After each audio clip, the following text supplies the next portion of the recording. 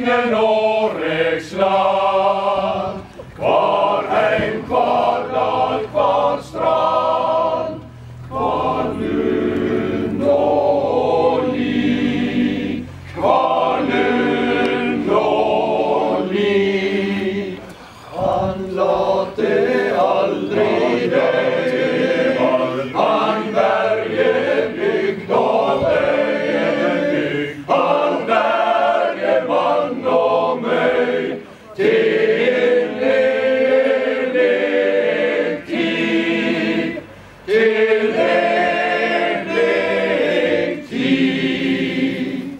slutter med å lære oss noe nytt. Eh, og da eh, Og det tror jeg er lurt.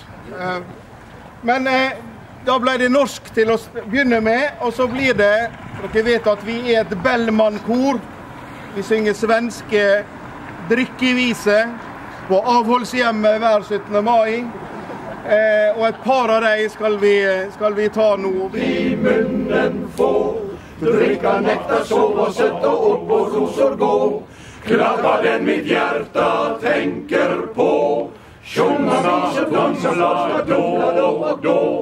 Vin med flaska vilja det, og eh, vi bekrefter det stadig. Vi trenger å øve. Vi skal bort på hotellet. og hvis de farer pent med oss og oss med dem, så eh, kommer vi tilbake neste år også.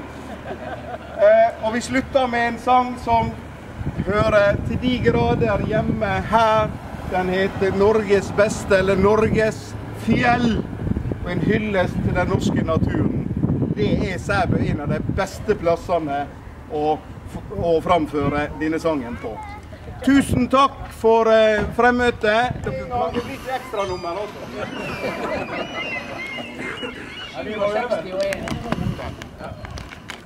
Det er historiens nest beste oppmøte. 67 personer, to hunder. Speider, speider dag og kveld. Speider,